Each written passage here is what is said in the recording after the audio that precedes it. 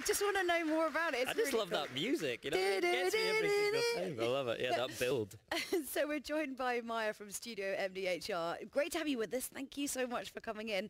And I'm super excited about this game, probably more than most other games, just because it's it's just so fresh. It feels so, which is weird because it's quite old style, but it feels so fresh and different. So what's happened since uh, what's happened since E3? Yeah, well, thanks for having us here. We're very excited to be at Gamescom this year with a brand new demo.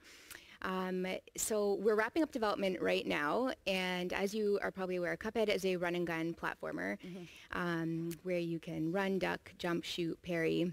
We also have other levels where you can play as a shmup. Ah, okay. Cool. So Julia's going to talk to you in a second about the animation style, but I'm really keen to know more about how the gameplay works and what the kind of gameplay influences are on Cuphead. Right. So we were heavily inspired by games of the late 80s, early 90s of retro retro games. So um, Gunstar Heroes, Contra, Mega Man, um, and games of that era. yeah. And R-Type we were talking about earlier as well. You mentioned Yes. that as a big influence. Yeah, so that. there are some levels where you do a play as a shmup. yeah, Cool. that's, That's that great. messes with your, you know, when you're like, you can't quite understand what's happening, but your body's just like going into like auto mode. Very Yeah, it's like using the Force, I always think. It's that zen moment where you It's just too tune fast. You it. can't actually process it. It's just really, really quick. But it's you're just it. it's you're in that you're in that zone. Um, so I suppose um, we have to talk about the actual style of it as well because I mean, talk about the process in creating the look of Cuphead because it's it's pretty unique.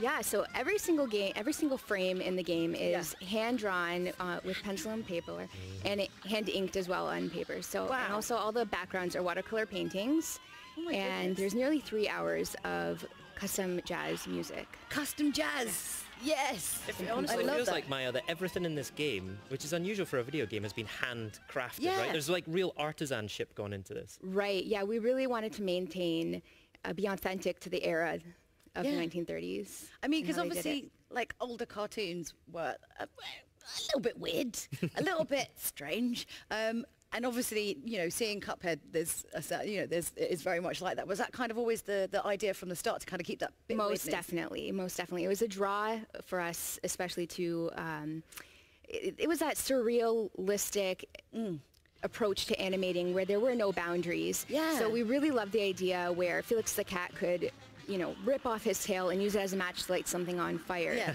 So it, that was the draw to basically making very wacky, mm. crazy bosses and enemies. Because that sort of sounds like when you say it like that, that sounds a little bit horrific in some sort of way, doesn't it? But it makes sense of that era. That was it's super weird. Pretty Right? resourcul as well. I know. I mean, if you Cat. run out of matches, you And we're seeing gameplay on screen here. Now you can totally see that that old school shoot 'em up gameplay. Now I grew up on those games and I remember them being tough and punishing. Tell us about the kind of difficulty level in Cuphead. Yeah, so it, it was designed to be challenging, but we also have some modern nods to mm-hmm. make it fair.